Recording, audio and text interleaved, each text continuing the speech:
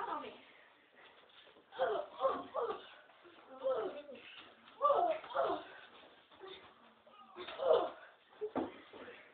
I'm sorry about that. It's done.